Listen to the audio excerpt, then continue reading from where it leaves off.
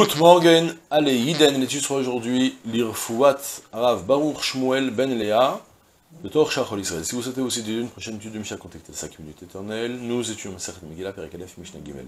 Eizo hi ir gedola. Kol sheyesh bo asara batlanim. Pachot mikan, arize kvar. באלו אמרו מקדימין ולא מאחרים.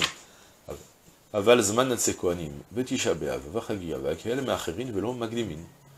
על פי שאמרו מקדימין ומקדימין, מותרים בהספד ובתעניות, מתנות לאביונים. אמר רבי יהודה מתי במקום שנכנסים בשני ובחמישי? במקום שנכנסים לא בשני ולא בחמישי, אין קוראים אותה אלא בזמנה. Eizoï Rigdola, on commence maintenant. On t'a dit qu'il y avait une différence entre les lectures, la lecture de la Megillah pour les grandes villes et pour les petits villages. On avait dit que pour les petits villages, on leur fait une koula, une permission, une dérogation, de pouvoir lire la Megillah au Yom Aknissa, au jour où de toute façon on va entrer dans les villes pour partir voir les juges, la police, enfin pour gérer les problèmes d'argent. C'était fréquent apparemment de partir euh, demander les avis du Rav, il m'a fait comme ci, il m'a fait comme ça. On partait, donc le lundi et jeudi, on partait, c'est le jour où il y avait les Batédinim. J'imagine que ça correspondait aussi que le jour où, concrètement, si c'est-à-dire, les villages, les villageois arrivent, viennent à la ville pour vendre leurs leur, fruits, que ce soit le lait, que ce soit les œufs, que ce soit ceux qui élèvent tout ça chez eux, donc après, les amènent pour les vendre. J'imagine qu'ils devaient faire correspondre ça avec le lundi et le jeudi en même temps. Et donc du coup, maintenant, on cherche à savoir, c'est quoi ce qu'on appelle une grande ville, qu'on leur dit non, fait une grande ville, t'as pas le droit de d'appuyer sur l'autre. C'est-à-dire entre le petit village où il y a les trois paysans là-bas et la grosse ville où il y a 5 millions d'habitants, il y a quand même des petits villages qui, a, 100 personnes, 150 personnes. Ça s'appelle un petit village ou pas? Qu'est-ce qu'on appelle un village ou pas? Eh bien, Ezoïr, de là, qu'est-ce qu'on appelle une grande ville Kol Sheyesh Ba Asara Batlanim. Une grande ville, c'est ce qu'on appelle qu'il y a Asara Batlanim.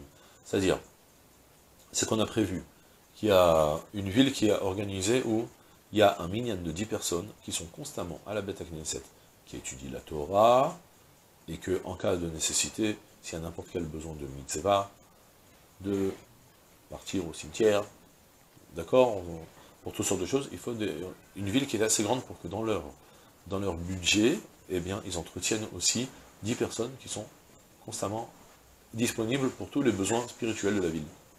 Si on a une ville qui est comme ça, eh bien, ça s'appelle une grande ville. Tant qu'on n'a pas une ville où il y a ces Asara Batanim, il euh, n'y a, pas, a pas de budget pour ça, parce que c'est une ville qui n'a pas de, tellement grands besoins, eh bien, eh bien dans ce cas-là, c'est considéré comme un village. Par contre, Mikan, si c'est moins que ça, un Reizé Kfar. D'accord? C'est moins que ça, c'est un, un Kfar. Ok? Et je sais pas, le Barthénois, je suis un peu étonné pour cette Barthénois, il rapporte quelque chose que je ne connaissais pas, c'est qu'il rapporte qu'en fait, c'est quoi les Asar C'est pas qu'ils sont là pour partir au cimetière, c'est pour partir, pour, pour, assurer une permanence au Minyanim. Alors je sais pas exactement, parce que euh, à notre époque, euh, les gens ils partent travailler, puis ils sont là comme à la synagogue, mais apparemment, j'imagine que peut-être pour Mincha, quand c'est trop tôt, pas tout le monde était là constamment à la Beth Knesset. Donc il y avait une ville qui se débrouillait pour avoir 10 personnes qui étaient constamment là, à la Beth Knesset, pour pouvoir compléter le Minyan. Voilà, ça c'est pour les 10 batlanim, donc s'il y a cette quantité-là, c'est une grande ville, s'il n'y a pas cette quantité, s'il n'y a pas ces, 10 batlanim, batlanim c'est des gens qui ne travaillent pas, c'est chômeurs, qui sont payés donc par la caisse du public, eh bien, ça s'appelle que c'est un village. Be'eilu amrou maintenant. Pour cela, on a dit que magdimin velomachirin, qu'on avancera et qu'on ne repoussera pas. C'est-à-dire, pour cette mitzvah de la Megillah, les zmanim de la Megillah, on a quelque chose de particulier, c'est qu'on a dit, tu sais, si tu vois déjà que la date prévue, tu ne pourras pas lire parce qu'il y aura, ça va tomber pendant Shabbat, ça va tomber parce qu'il y a les, villes qui sont les petits villages, alors on leur dit, vous savez quoi, n'attendez pas la date, lisez auparavant. Alors là, c'est la première fois en fait, je pense que c'est la seule fois même à la limite, où dans la Torah, on va avancer des rendez-vous. Parce que, aval, parce qu'en général, c'est pas comme ça. En général, on va repousser les rendez-vous.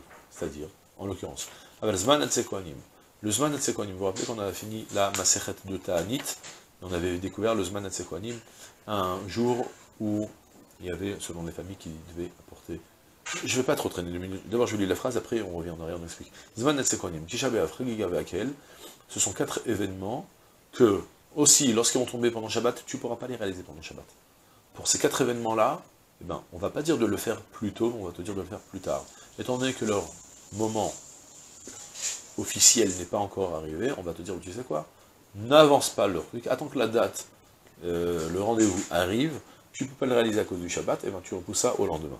C'est quoi ces quatre événements? Alors il y a Zman et Sekwanim, Zman et c'est ce qu'on avait vu dans la fin de Masechet Anit, qu'il y avait des, familles qui faisaient un don de bois tous les ans au Beth En rapport avec la première fois où ils ont construit le Beth Amikdash, à l'époque de Ezra, il y avait besoin de bois, du coup il y a des familles qui se sont, euh, qui se sont relayées pour venir le faire, et du coup tous les ans à cette même date-là, cette même famille revenait pour offrir de nouveau du bois. Ils offraient un korban et c'est un jour de fête pour eux. Donc ça c'est Manat Sekwanim. Si la date ça tombe pendant Shabbat, on ne peut pas apporter les bois pendant Shabbat, tu ne l'apporteras pas avant, mais tu l'apporteras après le Yom qui suit.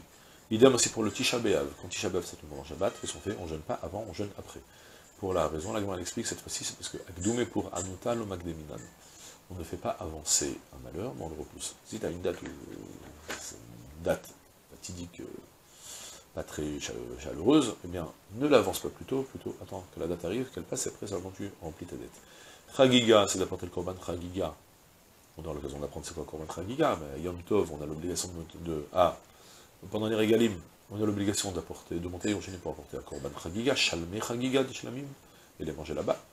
Si ça tombe pendant Shabbat, et qu'on ne pourra pas apporter donc, parce qu'à Shabbat, on n'apporte pas les Chagiga, on apporte juste les korbanot euh, qui sont chova du Shabbat, alors on reportera la, euh, le, devoir d'apporter ces, ces corbanotes-là. C'est les corbanotes que chaque particulier a le devoir d'apporter, de venir à Yerushalayim, d'apporter une latreya et d'apporter un Shamir Chagiga. Et ben, si Pessah ça va tomber pendant Shabbat, et tu ne pourras pas les apporter pendant le premier jour de Pessah, on ne va pas dire de les apporter la veille de Shabbat. Pardon. On ne va pas te dire de les apporter la veille de Shabbat, mais repousse le Shabbat, euh, repousse, le, repousse la misa Tragiga au lendemain, au Yom Rishon, d'accord? Et Akel, la misa de Akel. La misa de Akel, c'est à la sortie du Yom Tov de Sukkot tous les 7 ans, le roi, le roi, euh, on construisait une petite estrade au Beth Amikdash, dans la Hazara, et le roi montait dessus et lisait tout le chômage de Harim devant tout le peuple. Ça, c'est la misa de Akel. Maintenant, si la sortie de Yom Tov, on rentre directement dans Shabbat, on ne pourra pas le faire pendant Shabbat, parce qu'on ne peut pas construire cette estrade pendant Shabbat. On ne peut pas non plus la construire depuis la veille de Yom, Tov et rester pendant tout Yom Tov, parce qu'il n'y a déjà pas assez de place. Là, on ne va pas rajouter des, encombrer davantage la Hazara. Donc on va reporter ça à la sortie du Shabbat qui va suivre, ce sera la sortie du deuxième jour du Sukkot en fait, la veille du 3. Et pour tout cela, Me'acherin Velo donc on repoussera l'événement au lieu de l'avancer. Avalbi Shamro Magdibin, bien qu'on a dit, sache que maintenant, maintenant on revient sur la Megillah. J'ai dit que des fois la Megillah, on va la lire le 11 et le 12 même. Le 11, 11 Adar, 12 Adar, 13 Adar.